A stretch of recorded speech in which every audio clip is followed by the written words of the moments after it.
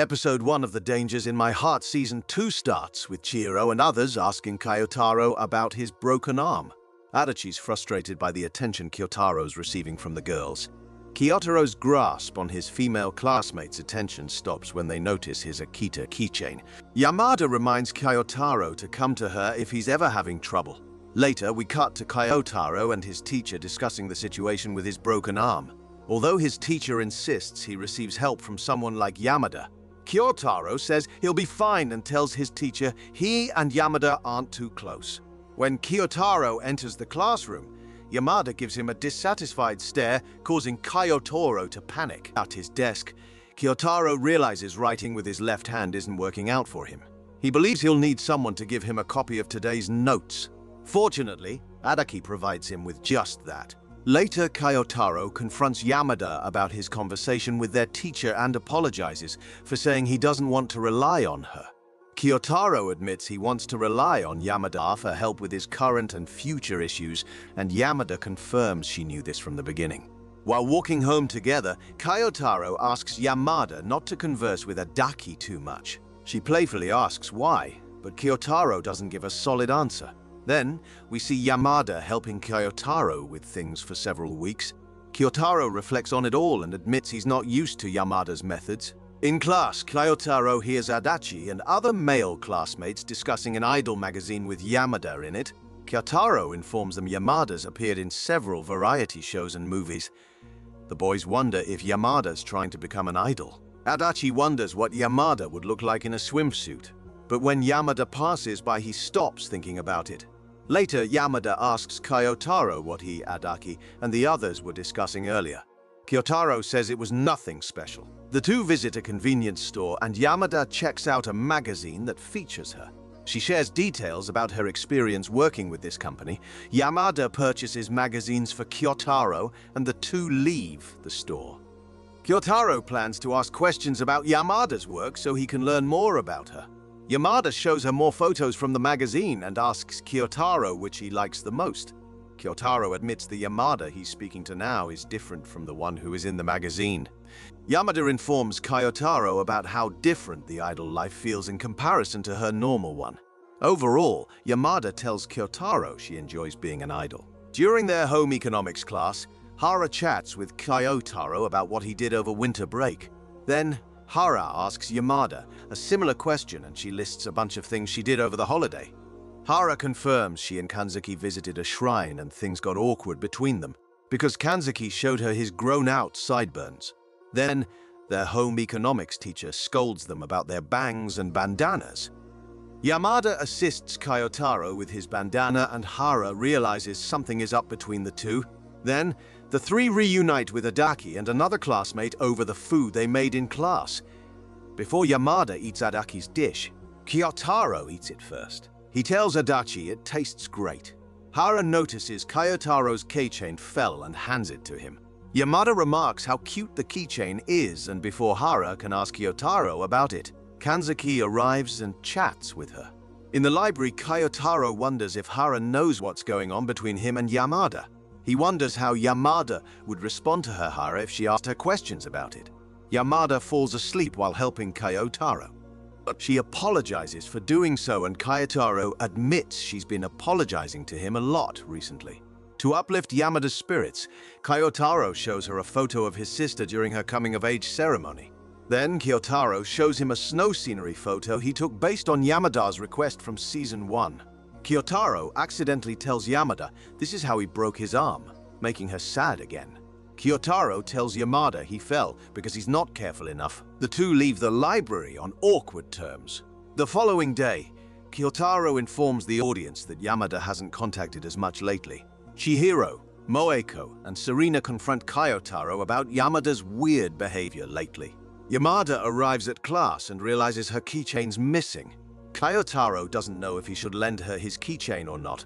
Simultaneously, Kentaro's teacher informs everyone they'll be ending today's lecture early due to upcoming weather issues. Kyotaro meets Hara and Kanzaki by the lockers. Hara confronts him about the keychain dilemma. Kyotaro leaves school to look for Yamada's keychain, but Moeko notices him during her stroll home and points Kyotaro in the proper direction. While searching for Yamada's keychain, Kyotaro bumps into Yamada. We learn that Moeko sent Yamada a text about Kyotaro looking for something. Kyotaro discovers Yamada's keychain is hanging on a tree, and she thanks him for helping her find it. Kyotaro sneezes and Yamada suggests they stop by her home to warm up. The episode closes with Kyotaro looking at Yamada's home. Episode 2 of The Dangers in My Heart Season 2 starts with Yamada and Kyotaro arriving at Yamada's apartment. Yamada helps Kyotaro get comfortable, but Kyotaro tells her she doesn't have to worry about assisting him with things of that nature. In Yamada's bathtub, Kyotaro observes the area but stops himself because he doesn't want to come off as a weird person. He tries to leave but stops himself when Yamada arrives with spare clothes. Yamada leaves for a few moments, giving Kyotaro a chance to change clothes.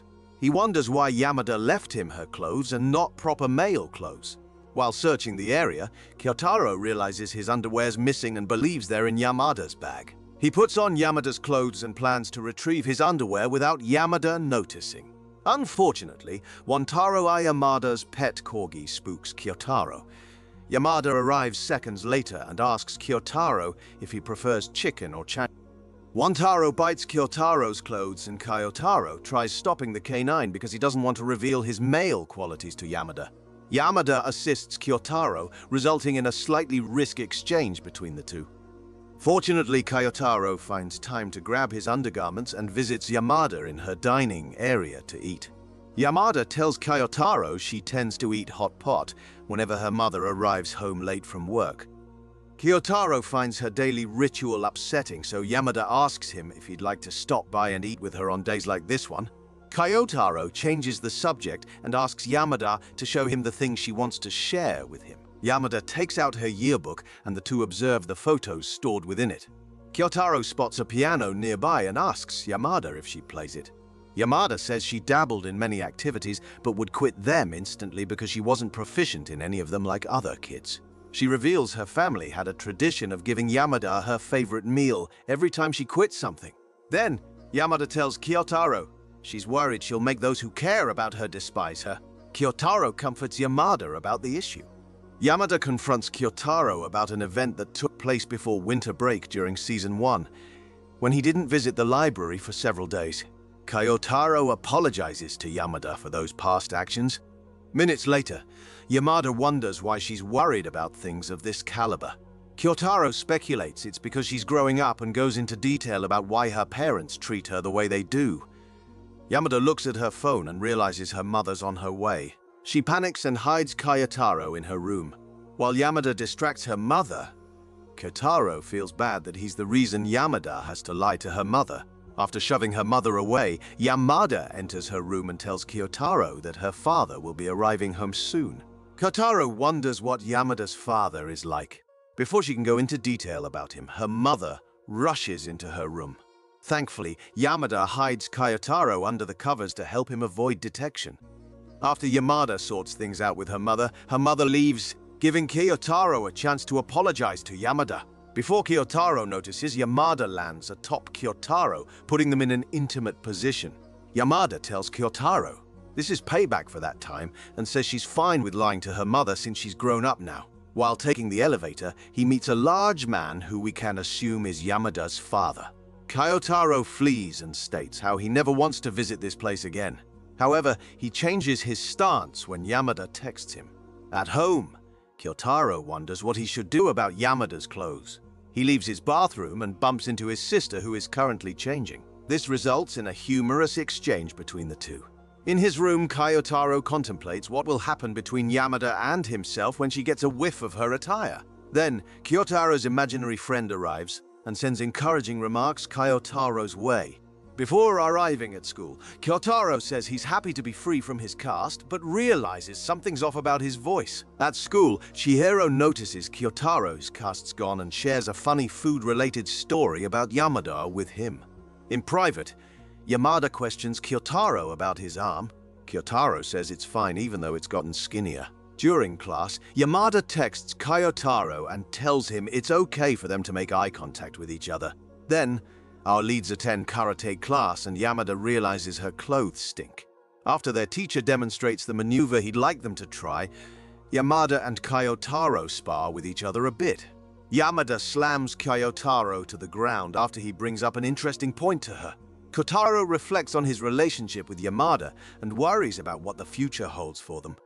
In the library, Kyotaro opens up about his voice issues to Yamada. He doesn't think it's a cold, but wonders what's wrong with it. Yamada finds Kyotaro's developments fascinating and believes it's because he's undergoing maturation. Yamada observes Kyotaro's arms and informs him that his other arm is getting bigger. Kyotaro's surprised he didn't notice his growth himself. Yamada asks Kyotaro to say her name plenty of times when his voice deepens. Kyotaro notices Yamada's undergoing her developments, resulting in another amusing yet risk moment between the two. Episode 3 of The Dangers in My Heart Season 2 starts with Moeko reminding Yamada and the other girls that Valentine's Day is approaching. Kyotaro overhears their discussion and states how he was never interested in the holiday. Moeko tells Yamada they should all make something for their male classmates. Yamada suggests something of the chocolate variety and Moeko likes the sound of that. She believes the boys will cherish these gifts if they know Yamada helped make them. Yamada shows slight concern since she's not skillful at baking snacks and things of that nature. Moeko asks Yamada if she'd like to visit her place to work on the gifts, but Yamada suggests they make it all at her place. Yamada stares at Kyotaro and he realizes she may want him to participate in this activity. Kyotaro arrives at Yamada's home with Chihiro and Serena arriving seconds later. Chihiro asks Kyotaro what he's doing here, and Kyotaro says he's just passing by. Internally, he questions if Yamada invited him here. Before Kyotaro leaves, he runs into Moeko. Moeko grabs Kyotaro and has him accompany her, Chihiro and Serena to Yamada's home. Yamada opens her door and Moeko teases Yamada for being dressed professionally for the occasion. Kyotaro and the others enter Yamada's home and Yamada's mother Sanae greets them. Sanae questions why Yamada invited a boy to her home. To avoid conflict, Moeko tells Sanae that Kyotaro is her boyfriend.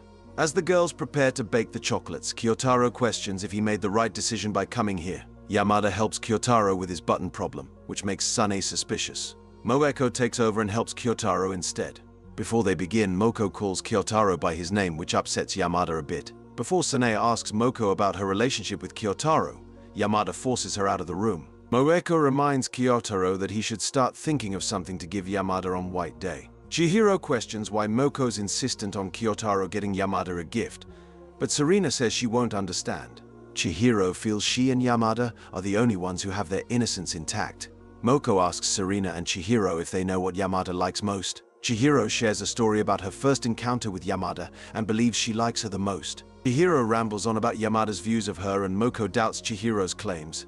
Yamada and Sanae return. Sanae tells Yamada that she's unsure if she should let them be. Yamada says she and her friends will be fine and kindly asks Sanae to sit down and stay quiet. Moeko asks Kyotaro if they should take things a step further. After noticing Yamada's reaction to it all, Serena yells and everyone stops what they are doing. Kyotaro leaves the table to wash some dishes. Yamada asks him condescendingly if he's having fun. Kyotaro ignores Yamada and heads to the bathroom to contemplate. He feels he should leave, but his imaginary friend appears and tells him he shouldn't. His imaginary comrade tells him he should tell Sanae the truth since it could spell doom for Kyotaro's plans with Yamada. Kyotaro tells his friend to leave him be. Before Kyotaro leaves, he tells Sanae that he and Moeko aren't dating. Sanae stops Kyotaro and asks him if he's the same person Yamada told her about. Kyotaro confirms he is the same boy and the two discuss matters for a bit before Yamada interrupts them. Yamada pulls Sanae inside and asks Kyotaro to stay. Kyotaro complies and Yamada asks him why he didn't reveal the truth sooner. Kyotaro says he didn't want to force Yamada to lie to her mother again. Kyotaro and Yamada enter her home and Kyotaro notices Serena, Chihiro and Moeko are shivering in fear. He realizes it's because Yamada's father decided to partake in their chocolate-making activity. Yamada's father leaves for a bit and Yamada uses the opportunity to apologize to Moeko. Simultaneously, Kyotaro recalls his first encounter with Yamada's father at the elevator and wishes he didn't have to meet her dad this soon. The father returns and glares at Kyotaro menacingly. Before Kyotaro speaks, Yamada's father asks Kyotaro if he likes games. Yamada's father leads him to their living room so they can play a game together. Yamada's father reveals no one plays a game besides him, upsetting Yamada. Yamada and her dad compete in a game for a few seconds. Moeko enters the room, which entices Yamada and Sanae to leave for a bit. Moeko speaks with Kyotaro for a bit and becomes enamored by Yamada's father's dashing looks. Later, Moeko asks Yamada's mother if Yamada's father can try their chocolates. Yamada's mother leads the girls to Yamada's father's location and Yamada pulls Kyotaro aside so he can try the chocolate she made for him. Kyotaro says the chocolate is too sweet but lets Yamada know this is just his opinion. Yamada tries the dessert herself and is thankful Kyotaro came here. Kyotaro, Serena, and Moeko leave Yamada's home. Serena asks Kyotaro if he's been here before since he seemed familiar with the place's structure. Moeko teases Kyotaro for a bit and confronts Serena about her weird behavior earlier. Serena tells Moeko that she is having too much fun flirting with Kyotaro and doesn't want Yamada to get upset. At home, Kana learns Kyotaro spent the day baking chocolates with many girls in school and is flustered by the idea of her brother building a harem for himself. Suddenly, Kyotaro receives a phone call from Yamada and heads somewhere to speak with her. Yamada asks him to share his thoughts about her mother and father. Kyotaro says he was taken aback at first but found them to be kind and mature. Yamada informs Kyotaro that she asked her parents for their opinions on her friend. Her father hopes Kyotaro will arrive again so he can get his friend code. As for Sanae, she says they met her expectations. After the phone call, Kyotaro and Kana have a drink together. Kana asks Kyotaro when he plans to ask Yamada out on a date. Kyotaro's unsure because he feels he lacks confidence and doesn't know how Yamada truly feels about him. Kana rambles on about the concept of growing up and change, but Kyotaro feels his feelings for Yamada won't change. Kyotaro shares his worries about his and Yamada's future and wonders if there'll ever be a time when she forgets him. Kyotaro screeches into a pillow and tells Kana that he wants to be Yamada's boyfriend. As Yamada and Kyotaro walk to school together the following day, Yamada tells him she can't figure out what chocolate to give to her other male classmates. Kyotaro suggests Yamada not to worry about it and Yamada complies. The episode closes with Kyotaro vowing to try harder to reach his romantic endgame with Yamada.